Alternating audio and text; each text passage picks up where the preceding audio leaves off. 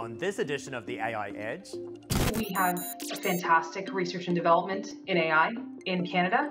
What I think is a, a challenge for the mid tier status and the growth is actually a, a, very thin labor market for people who have experience scaling.